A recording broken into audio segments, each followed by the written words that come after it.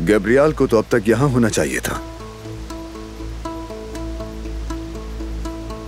यामिर मुखबिर ने पैगाम भेजा है। गैब्रियाल से कोई पुलिसराज शख्स मिलने आया है उसके चेहरे पर नकाब है। कौन है वो? यकीनन वही गद्दार है। चलो।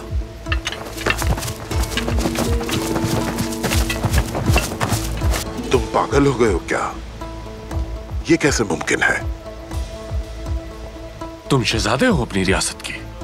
कौन कौन से रास्ते अंदर जाते हैं कौन से रास्ते बाहर आते हैं मालूम होगा ना तुम्हें।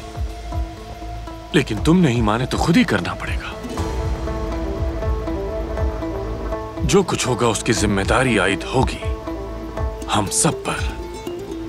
सुल्तान नूरुद्दीन को शक है कि वो गद्दार महल में ही है। तुम्हारा वहाँ हमला करना मुझे खतरे में डाल देगा। तो तुम्हें इस खतरे से जान छुड़ानी चाहिए ना? सुल्तान नूरुद्दीन को कत्ल कर दो। और सलाहुद्दीन को मार डालूँगा मैं। और इस तरह ताजो तख्त तुम्हारे हो जाएँगे।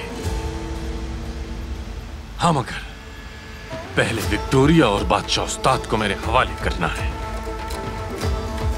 सलाहुद्दीन की मौजूदगी में नामुमकिन है। वहाँ कैसे जाऊँगा? देख लेंगे वो मामला। उसे वहाँ से कैसे हटाना है मालूम है मुझे।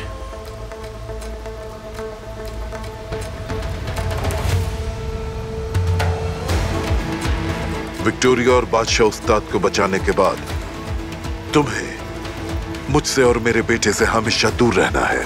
अच्छी तरह समझ गए? नसरुद्दीन उसके बाद तो ज़रूरत ही नहीं रहेगी मुझे तुम्हारी। लेकिन तुमने अगर कल तक उन्हें वहाँ से न भगाया सिर्फ़ मैं ही नहीं तुम बाप बेटे। तुम दोनों भी भुगतोगे।